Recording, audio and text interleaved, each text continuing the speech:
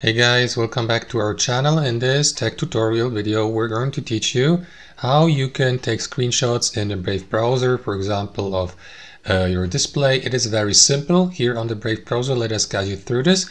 So open up the uh, Brave browser and access any website you like. So let me go, for example, with that home screen here on Brave.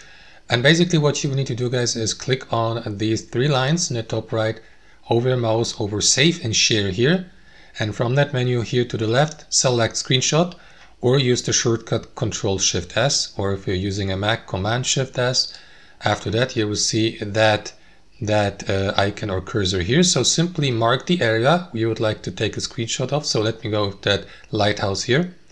Take a, take a photo or screenshot of it. Release your left mouse and there you go. Your screenshot has been uh, made.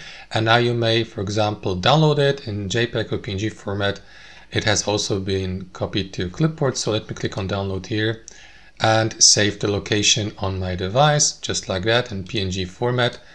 And that's it. That's how you do it, guys. As you can see, super simple. Hope you enjoyed this video, got some value from it, and we'll see you next time on our channel.